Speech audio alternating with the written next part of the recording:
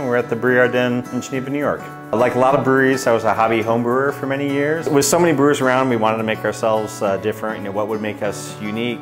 We're a Belgian style brewery, so you know Belgian style cuisine is part of the menu. So a little bit of a European sort of influence. And we were very fortunate very early on before opening. We found Chef Jaden, a classically trained chef at the CIA, and he kind of shared a similar vision to us. He loves using uh, local ingredients, you know, loves kind of this upscale cuisine, although approachable cuisine, just like our atmosphere. And breweries are a little bit new to, you know, New York in their Finger Lakes, but it's a little bit of what's old is new again. Breweries were here since colonial times and, and all the ingredients are grown here. Barley, you know, different field grains, wheat. New York was the largest hop producer pre-prohibition, now that's coming back. We do a lot of fruit beers and this place is, especially, you know, the Northern Finger Lakes and Lake Ontario known for the orchards.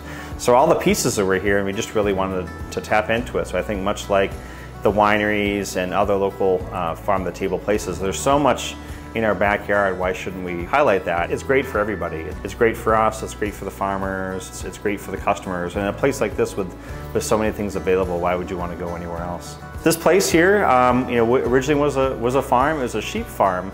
Uh, built in 1909, a thousand sheep lived in this building and that was kind of the, the theme, like kind of the farmhouse feel that we wanted to go for. Even though us and most breweries don't grow the ingredients here. We source them all locally and we're kind of in a farm setting. Farm Bureau uh, helped us with, with things that uh, were unique to our business as well as to the broader, you know, uh, community. When we first got started, you know, we had to face issues like local zoning and planning boards. We had to get approval to have this kind of business here, to do the things that we want to do here. So the Farm Bureau, together with our, our local government, were really keen on considering breweries as an agricultural use that should be allowed in, in places like this, and, and really, you know, both of them and us fighting together to make sure that we could do this kind of business there was really you know, that was black or white. If we couldn't get that approval to have this business here, we, we wouldn't uh, be here. So that was really meaningful to us. I know they've done that for a lot of other uh, breweries in the area. I hazard to say that if you enter into a business like